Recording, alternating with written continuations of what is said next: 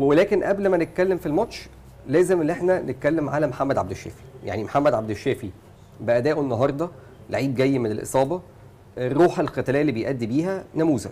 لعيب الحقيقة قدوة لكل لعيبة مصر ويستحق إن إحنا نبدأ كلامنا في البداية عنه قبل ما نتكلم عن الماتش بشكل عام. رأيك يا جوهر؟ بص أنا بشوف دايما كنت بقولها الجملة دي أنا بشوف إن عبد الشافي يتحط كأسطورة من أساطير نادي الزمالك. راجل حقق مع نادي الزمالك بطولات كتير حقق مع منتخب مصر بطولات كتير. وعاجبني كمان إن هو شخصية عمره ما راح لمشاكل. عمرك ما سمعت إن عبد الشافي عنده مشكلة في حاجة معينة إطلاقاً. بيعمل مشكلة مع مدرب يلعب ما يلعبش بينزل ما تحسوش بعيد. راجل لعب كأس عالم.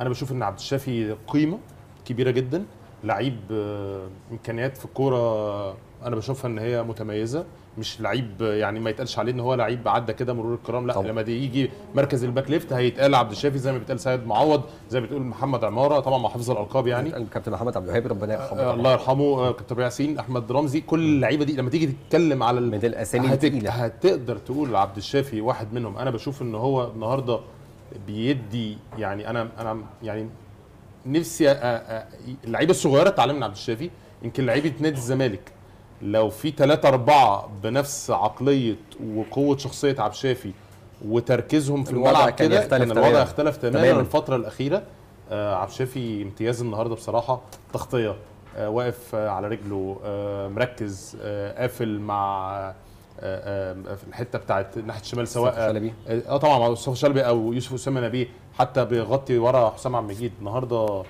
امتياز بصراحة محمد عبد الشافي يعني قيمة عبد الشافي إن أنت لعيب بعيد بقالك مدة كبيرة قوي بتلعب المشاهد لا يمكن يقول إن ده لعيب ما شاركش مثلا بقاله مدة طويلة أو إن هو ما خدش 90 دقيقة على بعض من زمن آه، طويل وبعيد قوي. وفي يمكن في لقطة الشوط الثاني تبين لك الروح القتالية اللي عند عبد الشافي. الكرة اللي دافع على على أكتر من مرة وفنشها بسايد كيك مميز جدا يعني بعد كوره عند طبعا منطقة جزاء الزمالك.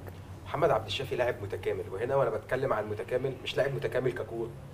انسان كإنسان بيبقى موجود عندك في أوضة اللبس بتاعك أنت محتاج لعيب زي محمد عبد الشافي.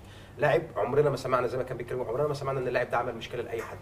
فده على المستوى الانضباطي لعيب مميز جدا جدا. أعتقد في آه، حكاية دايما بتتحكي عن محمد عبد الشافي لما جاي يجدد. فقالوا لا طب جددوا لكل الناس فحطوا له رقم معين. طب قال أنا العدد الدقايق اللي باخدها دلوقتي؟ الفلوس دي أكتر من اللي أنا استحقها. وده شيء يعني ده إحنا شيء نا- نادر يعني الحدوث يعني.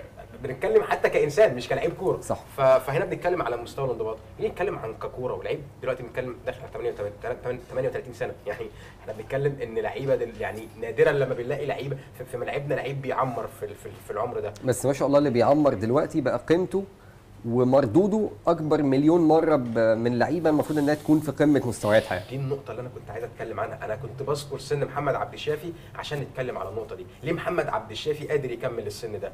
أولاً محمد عبد الشافي من الجيل بتاع اللعيبة اللي كان عندهم كورة جيدة، محمد عبد الشافي لعيب الكورة في رجله. أنت قادر تميز إن الكورة في رجل لعيب مختلف، تصرفاته في الملعب تصرفات لعيب مختلف، قدرته على استلام الكورة، قدرته على التمرير، إنه يوقف الكورة، إنه يعمل التغطية العكسية، ما تتردد الفيوتشر في عبد الملعب، الكبير سياسته الوادي. يلعبها حلوة لكن التسديدة. الضعيفه فرصة. مش ممكن يا مروان. من. زمن كرة قدم نادرا ما بنشوفها دلوقتي في مصر. من زمن الجميلة الفولو. هي عنوان لاهداف المصري هذا اللقاء مروان محسن يعدل. باليمين ويركن بالشمال الانضباط- بيغير من وصفي لسيف في الدين. الجزيري. مروان. إن كورته مختلفة. كورته مميزة. زي ما بنتكلم النهارده كل شيء بيقدمه محمد عبد الشافي مميز. برضو ده شيء صعب جدا إن لاعب كل لمسة ليه في الملعب سواء في الحالة الهجومية أو الحالة الدفاعية أنت بتشوف شيء مختلف بيحصل. أنت كل مع كل لقطة النهارده جمهور الزمالك كان بيسقف لمحمد عبد الشافي وبيهتف محمد عبد الشافي. ليه؟